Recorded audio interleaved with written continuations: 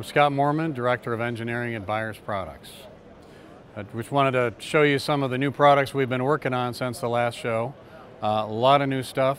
One of the things I mostly wanted to talk about was our anti-icing systems. We've been working with anti-ice for quite a few years now, and our customers have been telling us every year this gets bigger and bigger.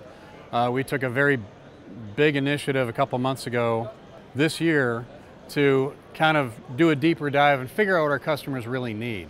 So now we've released a full matrix of products, uh, multiple drive lines, hydraulic, electric, gas, uh, flow rates up to 235 gallons a minute, multiple tank sizes, multiple mounting options, uh, ground speed control, manual control. What we found was every time we approached a customer, it was a custom kit. And after digging in a little bit, it's, there's only so many ways to do this.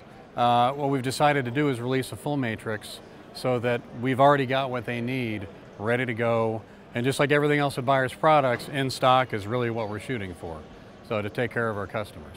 Some of the other features on these anti-ice systems are the multiple spray bars, PVC, stainless steel, multi-lane, single lane. Uh, the possibilities are really pretty significant. Um, but with the modular construction, we can still offer our customers what they need for their application.